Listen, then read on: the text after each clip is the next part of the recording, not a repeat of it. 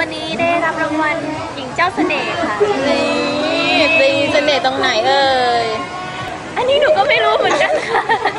ก็แต่เท่าที่ทุกคนบอกบอกว่าหนูมีตาที่ชัดเจนค่ะค่ะที่ดูตาว่าอย่างนั้นโอ้ยสายตาค่ะพูดถึงชุดบ้างดีกว่า วันนี้ชุดมาเป็นไอเดียคอนเซปต์ไหนจ๊ะ วันนี้เอิ่มหนูก็ได้ใส่มา คือ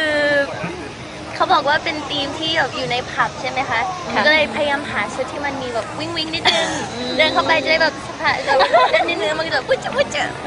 ไม่คิดว่ามันเซ็กซี่อวดกับเขาบ้างหรอ คนอื่นเขาเซ็กซี่นะ หนูไม่มีอะไรให้เซ็กซี่อะค่ะก็เอิ่มไม่ อะถามเกี่ยวกับเรื่องนี้ดีกว่าภาษี ตอนนี้ก็มีหลายคนจับตามองว่ายาย่าจะโดนเรื่องภาษีเหมือนกับแบบพวกณเดชน์พวกชมพู่หรือเปล่าที่โดนอะไรอย่างนี้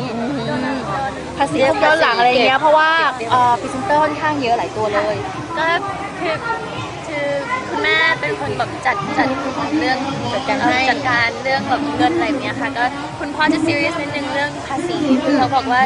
เอิ่มยังไงก็ต้องจ่ายเพราะเดี๋ยวมันจะแบบวุ่นวายเกินไปก็ ทุกงานที่หนูทำหนูก็แบบรับภาษีไปเต็มๆเลยค่ะ เท่ากับคุณพ่อเป็นคนคอยสติ๊กว่างานนี้เท่าไหร่หาภาษีเท่าไหร่ ก็มันมันแล้วแต่ว่ายอดสุดท้ายเราเท่าไหร่ใช่ไหมคะอืม ก็หักตามนั้นนะคะก็เลยนะเท่าที่เรารู้มา ก็เยอะค่ะ ประมาณ ไม่รู้ค่ะแต่ว่า แล้วเสียดายนะ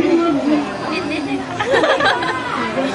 ค่ะ พูดถึงงานไอ้นี่บ้างดีกว่าฟุตบอลจุฬาธรรมศาสตร์บอกว่าเราไม่ได้เอ่อเชิญพระเกี้ยวหรือว่าเป็นดรัมเมเยอร์อะไรเลย เพราะว่าอืม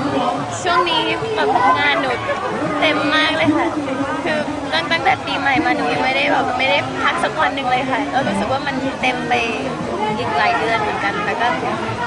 คือคือการเป็นแบบลีดหนู กหนูเคยไปไปสมัครนะคะ แต่สรุปแล้วเขาต้องไปซ้อมเยอะอะไรเยอะแล้วกลัวว่าจะแบบทำไม่ได้